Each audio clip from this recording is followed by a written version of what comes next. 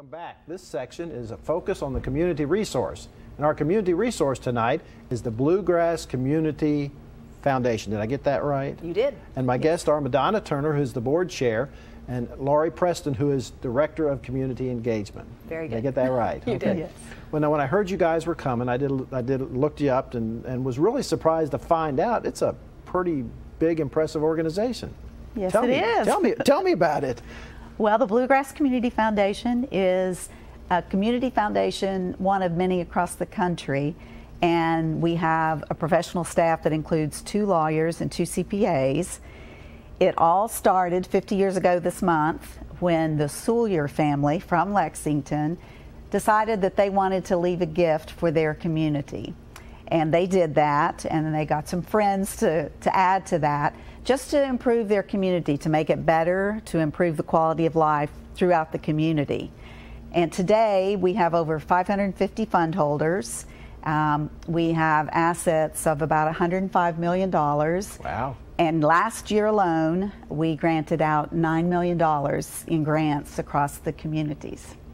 Well, Laurie, tell me, give me some examples of how all this works. Well, sure. There's um, a combination of things that seem to occur here. We have everything from um, funds, which you might have heard about people um, possibly after they, you know, are going to pass on, they're going to leave a legacy gift that um, that if they want to leave a portion of it to their community so that they can give back, it's one way to do it.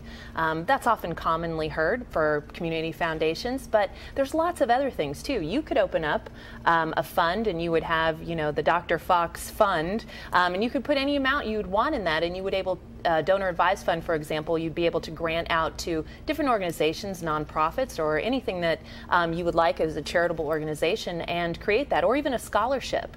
Um, so this is a great way for people in the community who have a charitable dream, they want to do it, and we make it happen. That's basically the bottom line. Well, Madonna, give me some examples that have occurred here. And is it just Kentucky that you do it, or just Lexington, or? Yes, our organization covers central and eastern Kentucky, uh, many counties across, and we also have county funds that have been established in many of those counties. For example, in Clark County, Madison County, Rowan County, they have their own community funds that people who live and work in those areas can put charitable dollars for philanthropic purposes into those funds.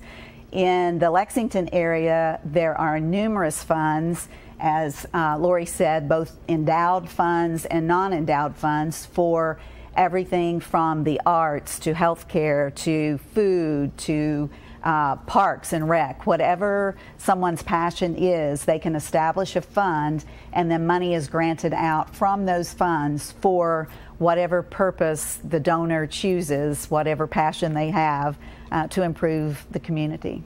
Well, Laurie, is there a specific way that it works? I mean, if if I want money, do I ask you guys for it? If I want to give money, do I have to set up a fund? I mean, is there a, is there a process you guys prefer to go through? Well, there's lots of different ways. I mean, one of the best things about a community foundation is that we are not only a place where people can make charitable dreams happen, but also a convener of lots of different initiatives and uh, things that happen in the community. So, for example, um, we do the Good Giving Challenge every year, right around uh, the end of November, and this is a great way for um, different people in the community to give as little as much as they could possibly want in a fun and rewarding way online.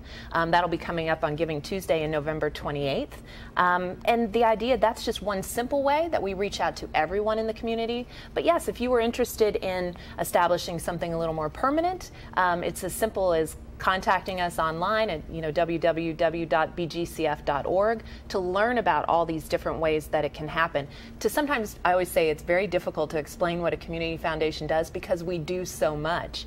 Um, and there's a great video on our website as well that really describes it in a very simple and easy way for everyone to understand. But yes, people do look to us to grant out money as well, um, and that is more along the lines we do grant out a great deal, as she mentioned, nine million in the last last year alone.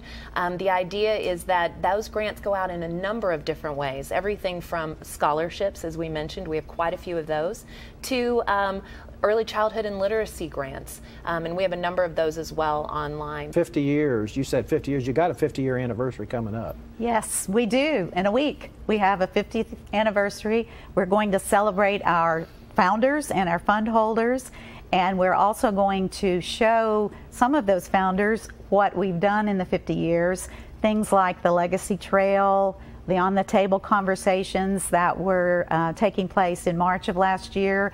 11,000 people across the city um, talked about what they wanted done, lots of other things, the ways we've been involved in the community. Well, it's great information. Thank you for coming in and sharing with us. Thank you.